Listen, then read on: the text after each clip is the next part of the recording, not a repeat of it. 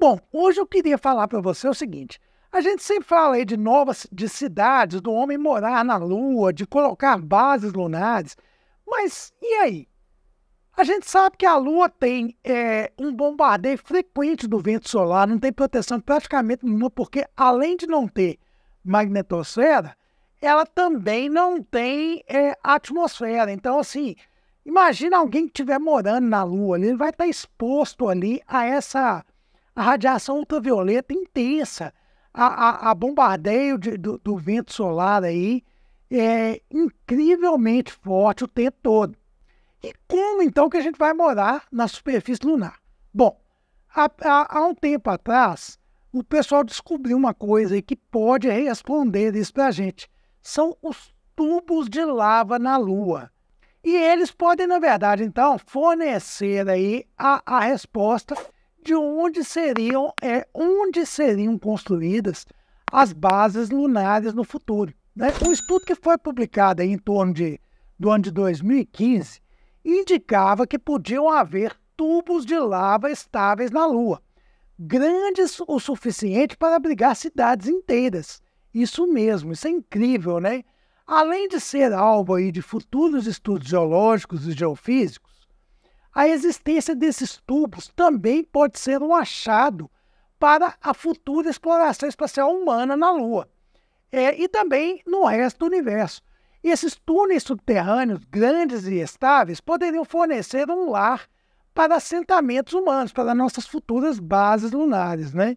protegendo a gente aí do que eu falei, da radiação cósmica que é prejudicial e de temperaturas extremas e também dos bombardeios constantes de meteoroides e micrometeoroides que a Lua sofre.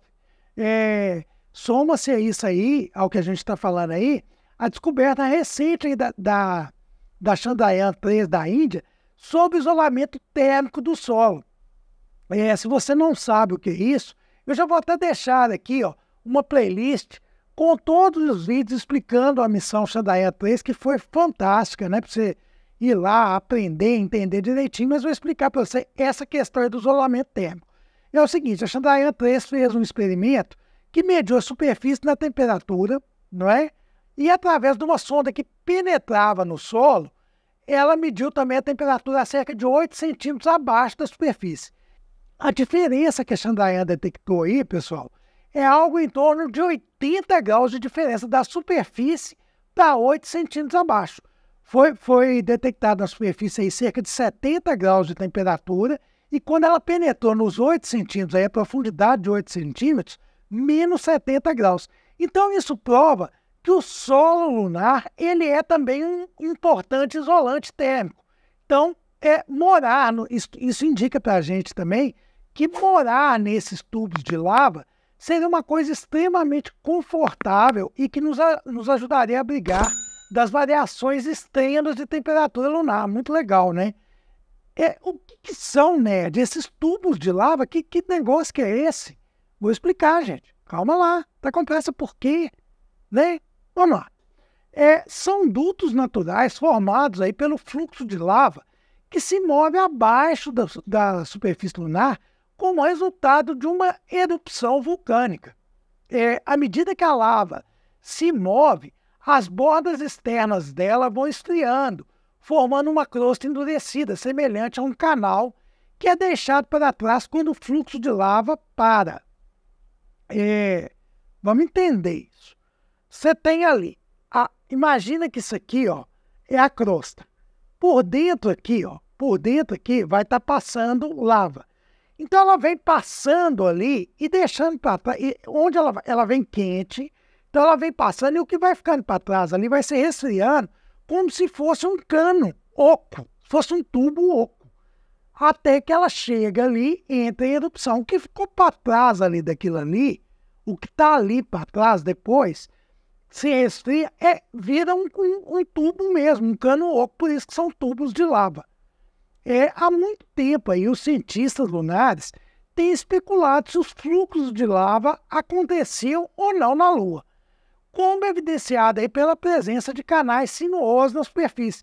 Na superfície aí a gente pode observar é, algumas estruturas peculiares, né, que são uma das evidências.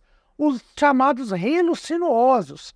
São depressões estreitas, como essa imagem que eu estou mostrando para vocês aí, depressões estreitas na superfície da Lua, que se assemelham a canais e têm caminhos curvos, que serpenteiam pela paisagem como um vale de rio. Acredita-se que esses canais aí sejam restos de tubo de lava que colapsaram, né, que desabaram, ou fluxos de lava extinto.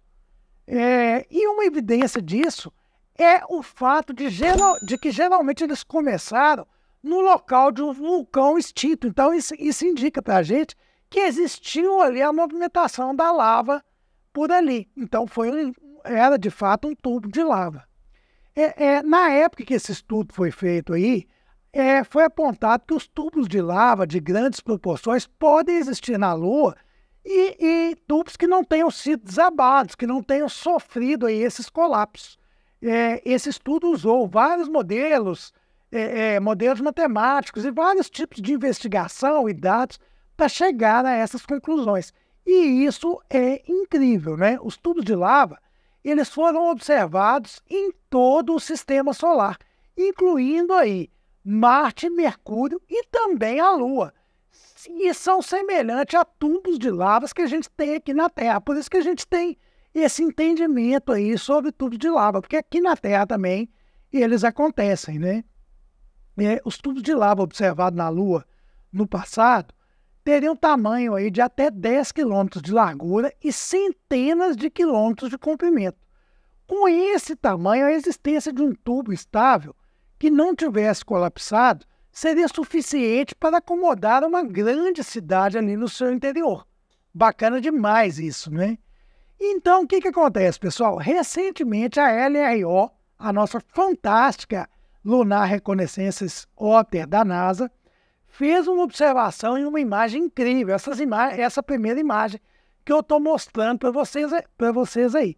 Ela capturou recentemente imagens de um canal que se estendia por 48 quilômetros de comprimento através do hemisfério norte. As características mais reconhecíveis são conhecidas como sinus hills, ou chamados canais sinuosos, porque lembram o que eu falei anteriormente, que lembram rios. Então, acredita que, é, que esses canais aí são antigos tubos de lava que de fato entraram em colapso. É, esse canal contínuo aí foi fotografado aí pela LROC, que é a câmera da LRO, e foi encontrado perto da cratera Grutuisen, K, em Ocelan no Oceano Procelaro. nesta imagem aqui da, da LRO, a gente pode ver ainda aqui, ó, essa grande cratera de formato irregular no canto superior esquerdo da imagem pode ser a fonte do fluxo de lava que formou todo esse canal. Interessante demais isso. E os cientistas estimam, então, que o tubo pode ter até 500 metros de diâmetro em alguns lugares. Já imaginou um tubo com essas proporções aí? É, então é o seguinte: com o tempo, os tubos de, de lava podem colapsar devido à atividade sísmica ou a eventos de impacto, criando uma cadeia de poços e buracos chamados clarabóias, que se estendem para longe das características vulcânicas. Então, olha que interessante, você pode ter aí, de repente, num tubo, partes do tubo ficarem inteiras e partes colapsar, permitindo aí certos respiradouros, vamos dizer assim, é, acessos por outros lados e, e coisas assim, né? É muito interessante isso. Passagem de iluminação, canalização de iluminação, que seria uma coisa bem bacana, né? Bom, estas imagens aí, de fato, elas apoiam as pesquisas anteriores que indicavam que poderia haver tubos de lava na Lua medindo até 10 km de largura e centenas de quilômetros de comprimento. E grandes o suficientes para abrigar cidades inteiras.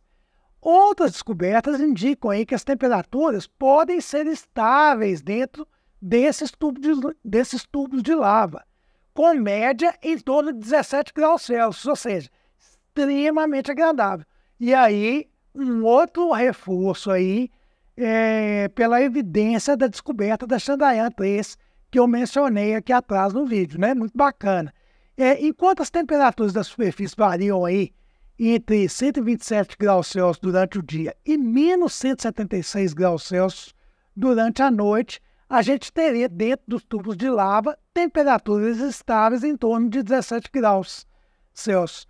Então, por estas e outras razões, agências espaciais como a NASA, como a CNSA, que é a Agência Espacial Chinesa, e também outras agências estão considerando os tubos de lava é, é, como locais potenciais para a instalação das futuras bases lunares.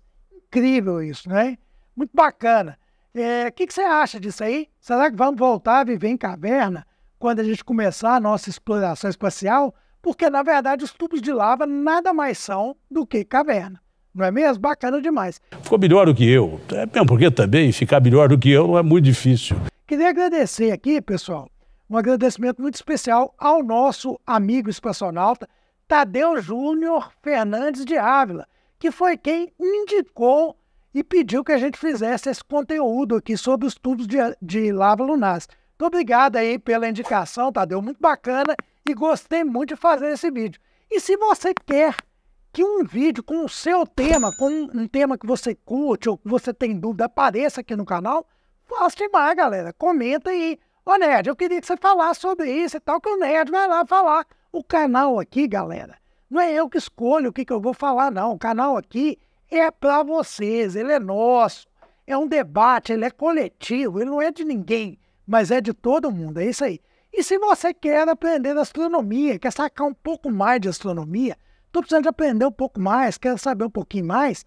Então, dá uma olhada na descrição desse vídeo que tem um curso de astronomia muito bacana, baratinho, que está indicado lá para você. Dá uma olhada lá sem compromisso. Um grande abraço e até o nosso próximo vídeo, que não vai demorar, hein?